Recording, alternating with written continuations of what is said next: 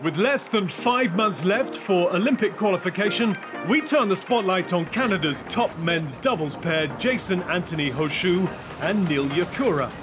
The duo spent some time with Badminton Unlimited in Tokyo, host city of the 2020 Summer Games, to talk about their Olympic dreams and aspirations. My name is Nyl Yakura. I've been playing badminton since I was 10 years old and I'm from Canada. I'm Jason Ho-Shue. I've been playing since I was 11 years old and I'm also from Canada. We're in Tokyo. There's lots of Tokyo 2020 advertisement around, so it's nice to come here and experience it. I just really like the culture here.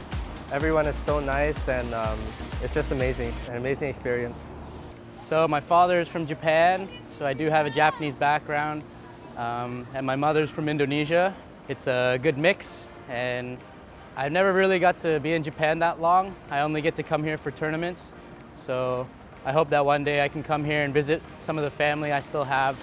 So our goal is to qualify for the Olympic Games next year in Tokyo. We've been um, playing together for a couple years already and um, overall that's been our goal since day one. We really want to qualify next year for Tokyo. It's been a pretty big dream of mine since I was in my teen years, I think. Uh, I tried to qualify for the last one in Rio, but unfortunately I didn't make it. But this year with uh, my new partner Jason, it feels very comfortable right now and we have a good thing going for us. So I think we have a good chance of making it. So I hope that we can do that.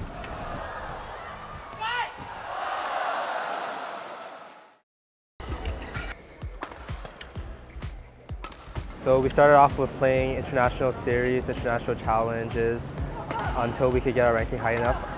Now we're able to qualify for World Tour 1000, World, Tour 750, and um, we're just trying our best right now to keep our ranking up, keep going higher, and hopefully in the end, when the qualification period ends for Olympics, we'll um, be qualified.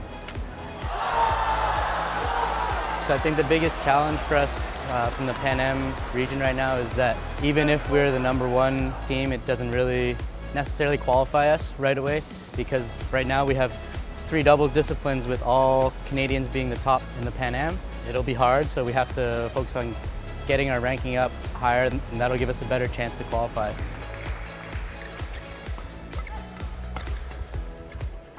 In Canada, or the most crucial factor that affects us is uh, financially because um, we don't have our airfare, our hotels, anything um, paid for by our, our federation, so everything is self-funded for us.